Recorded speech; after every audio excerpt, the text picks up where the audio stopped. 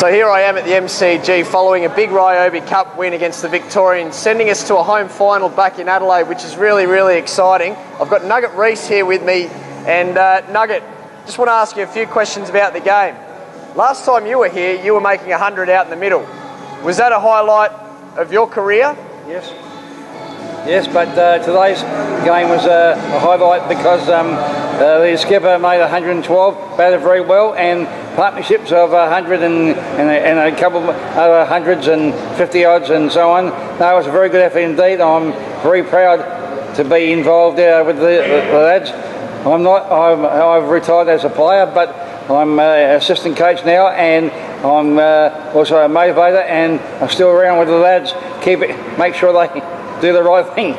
and we always do the right thing, don't we, Nug? Now, uh, on yes, your first yes, tour as uh, yes, yes. Now, on your first tour as assistant coach, has Darren Berry been holding it together behind closed doors, and has he had any tips for you on your first tour away? Yes, he has. Uh, he's he's uh, behind closed doors is very good, and everything has been going well. And yep, no, very good indeed. Now, your good mate Nathan Lyon's back from Australian duties. Is it fantastic to have him back around the team?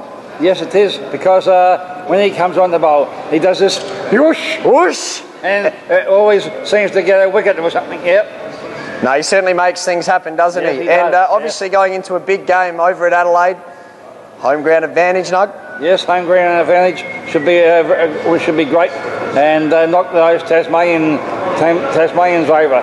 It'd be great to knock them over and send them back to uh, Tasmania behind their tails. And just quickly, have you got a message for all the South Australian cricket fans back home in Adelaide? Yes, uh, make sure you make sure you get there on Saturday at the game, okay, and make it a full house. And just remember, Nug, catches win what?